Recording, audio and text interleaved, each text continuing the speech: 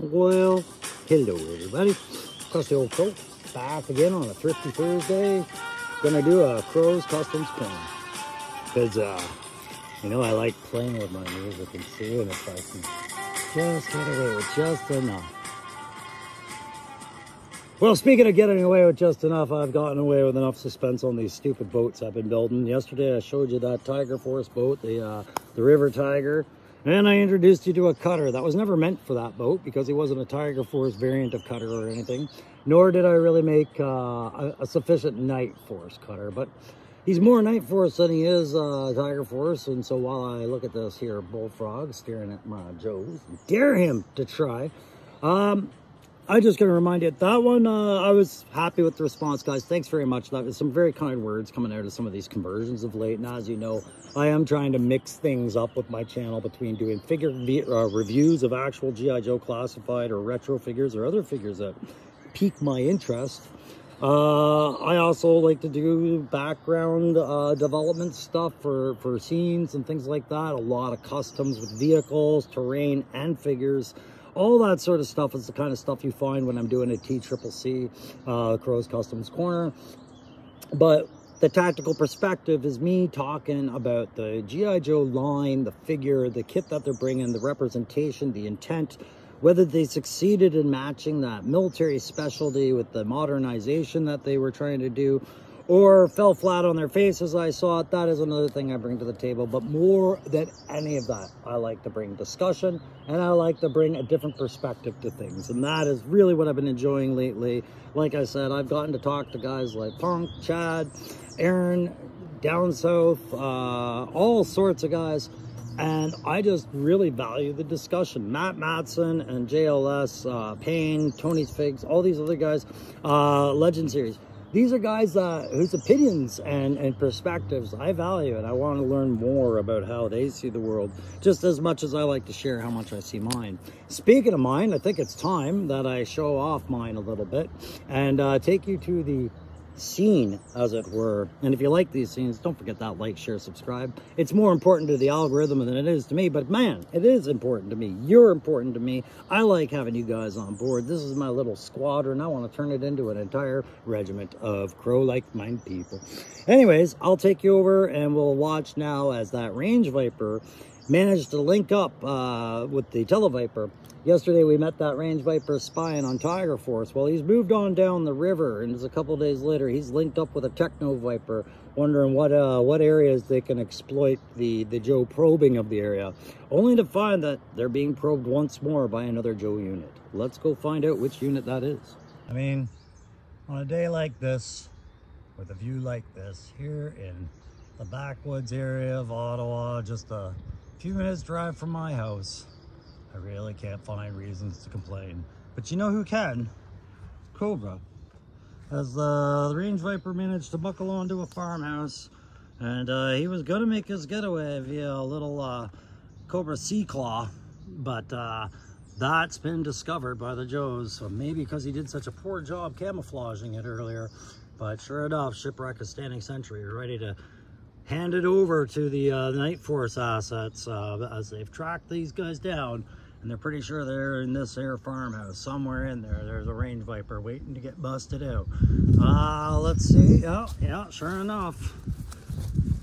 He's realizing he's in Screwedville population 2 with the Techno Viper as uh it seems they underestimated the ability of Night Force to get into this region as they look out and they see the landing happening and they know they're kind of screwed right now Oh, maybe it's a bit self-serving to show Wolf Spider, Parth Varma, alongside my uh, my custom fire team partner Forum Variable in that little cheap little hovercraft, but they're part of the landing party. They're gonna go secure that uh, that underwater claw, sea claw there, take over from shipwreck. But meanwhile, the seals are on the ground, the Joe seals. So we have a McFarlane uh, military line that I have had kicking around. It works well with my seals. There's the other one standing in the water. I don't mind getting those guys wet and dirty. And we got Torpedo on. He's uh he's docking out, jumping off. And of course you got I'm glad you guys like the wetsuit. Thank you very much for the comments on the wetsuit. And there he is on his skid. And he's uh, got his kit. They all loaded up their kid onto this here Night Force boat. And that's the one Cutter's more at home with. So when I built this, this is a Fisher Price boat again. I think it's Rescue, Rescue Heroes. It has uh, two modes uh, for those skids down and up. It's supposed to represent a hydrofoil. It doesn't give it any elevation. And quite honestly, it was damaged when I bought it because it was a thrift store find. So I kind of glued the skiffs into place. I can still operate them, but it puts a stress on the thing. So I added in a bunch of parts, like everything in black that you see on the front is stuff that I had to add to define a cabin. It had no steering controls. It just had a, a hokey little chair for the character to sit in and then it was open. So I closed her all off and gave it a couple little nine mil mini guns, just something little shoot to punch up, uh, punch up uh, uh, like other boats, hulls, nothing, nothing armor piercing. It's a, it's a, it's a fast attack kind of land them and get them off kind of boat. And uh, there you have it guys. And then we put that sensor array with pieces of uh, it's part of a car's uh, internal electronics array, that, that black plug looking thing that turned into antennas. I found it in a parking lot and said, it looks like boat antennas. And so I kept it. Uh, we got the dish, I added the dish on there. I just wanted it to have some sort of a kind of comms representation. And then uh, as we go down, despite my shadow, I think you get enough, enough of a view.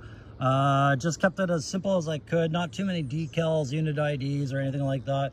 I got some rails on her. I want to mount handles and ropes on there. I just didn't get around to it. And quite honestly, I'm more enthralled with two other vehicles I have on the brink of presentation right now uh, that aren't boats that I really want to show. So I thought I'd just give you guys a glimpse at this one. Uh, and I'll pull it out of the water, put it up on the land, and I'll show you the rest of the function. All right, let's do that. So here it is, guys. Once again, I am looking for names on this boat. Let's put them on this thread. If you've already put them on the live, I'm sorry. I wasn't able to see the comments on the live after it was done.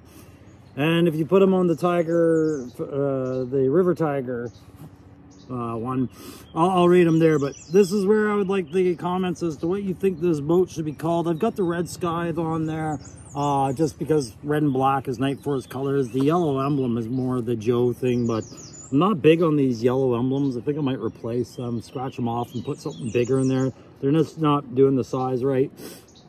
But this is about as uh, simple as I want it, complicated as I want it at the same time. I, uh, I had to spend more time than I wanted on the bars. But what I point out is, I'm going to tell you about an approach I have with this uh, sometimes when I'm doing a conversion. Uh, and because of classified, some figures are easier to manipulate than others, and some of the parallel figures like Valaverse have smaller figures or Star Wars or Marvel. And if you're making them cross-compatible and you want your vehicles cross-compatible, one of the things I, I, I'm kind of settling on is called the incomplete approach, which just means there's some things I'm not going to glue down. Maybe I could magnetize, I'm sure, but I'm just not gluing it down. And one example of where this has crept in is on this boat. Uh, there's that feature going on with these handlebars. Uh, you'll see I've got the upper set of handlebars for standing, for when Cutter's standing, and he's he's bringing the boat in on this quick approach to get the guys off the skids and pedal out.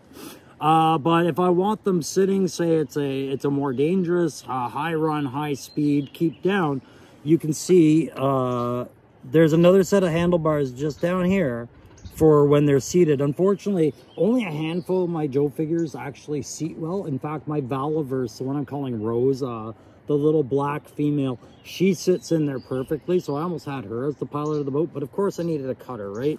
I got to have a cutter, guys. I'm not to get a hovercraft. I have to have a cutter if I'm to make some boats. So I've done that. I've crossed some things off my list. I've dealt with my boats. I've given my Joes more support.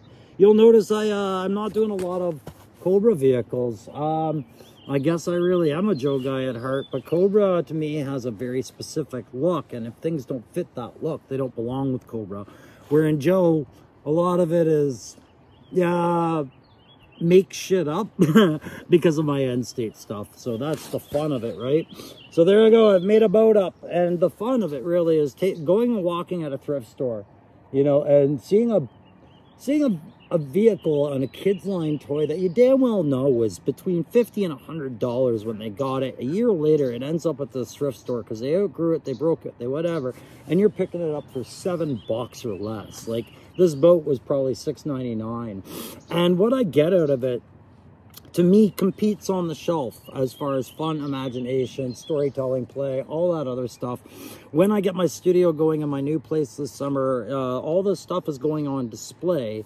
It's not just sitting around. But i'm i'm you know i'm not i might have a contest for giving one of these vehicles away at some point too. I don't know. Do you guys think this would be a good contest prize to give a vehicle away, just pick one at random and say, this is what we're drawing for tonight. You're going to win this. I might do that because uh, I'm not going to stop building, but Jesus, I will eventually stop having so much space. That barn was a really cool find today. I can't wait to paint that up and have that on the same property as that Joe uh, safe house that I'm building there. That's going to be a big display. That's going to be a six foot tabler. Uh, but that'll be where I display a lot of Joe's in the new place as I turn an entire room into a studio, much like what the guys already have. Uh, so looking forward to that. Um, hey, don't forget, Friday night I will be on Legend Series Photography Talking Figs. Uh, I got interviewed by Tony last week. It's, uh, it's time for that to come to light.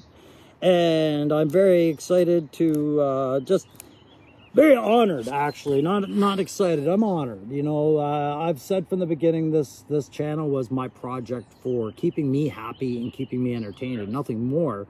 And nothing keeps me entertained better than talking about joe's talking about toys talking about pop culture and talking to like-minded people. Um, for years i was deprived of a, of a group such as this because i was in a military setting, working with military people, talking about military things, and very little time was allocated to personal interests, and very little of those personal interests were shared enough like this.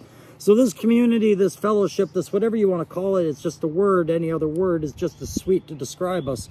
Uh, I, I find has fulfilled me a lot. And I want to thank you guys for that. You new subscribers, you old subscribers, I want to thank all of you very much for that. And more moreover i just want you to know that every day that goes by where i don't make a video uh, on presenting something new to help you pass on while you're taking a dump or you're driving to work and listening to me or you're doing something every day that goes by i feel those days i feel like i'm not contributing the way i promised i would so i am trying really hard guys I am one man and I am a, a, man dealing with life issues right now. So if I'm slow to respond or if I don't respond and you've reached out, please don't take that personally. I'd rather just not say anything than to dump a million dollar, million problems on someone's lap. I'd love to drop a million dollars, but, uh, but at the same time, this is what I'm willing to drop on your lap. This is the better version of me, the happier version of me producing and making fun things like boats and joes, boats and joes. Gotta get me, oh, broke the panel. Gotta get me more boats and joes. So the uh, the things upcoming. All right, I'll tell you a couple of names you can expect. You're going to expect a low light, you're going to expect a dial tone, and you're going to expect a Budo. How's that? And that's not the vehicles. Those are just three of the figs I've got queued up. We're almost ready to present. Of course, uh, like I said, the, the Frank Castle Crimson Guard uh, Cobra set deluxe that I'm making for uh, for Cobra Crimson Command, uh, not Cobra Crimson Commander, pardon me, uh, Grievance for the 350 prize that he won. This thing's getting a little bit bigger than I thought it would. It's definitely got a lot going on and it'll be finished up after Joe Fest. I'll present all that and then I'll mail that off to him. And then we're going to be going to the 500 prize soon and we're almost at 400 right now and I'm very happy about that. So no race. You guys don't want to subscribe, don't subscribe. But if you do, just know you're welcome here. It's awesome. I, I love having you guys here, and I will see you very soon for the reveal of uh, two more vehicles at least, possibly three, and a bunch of figures very soon, guys. Take care. Bye.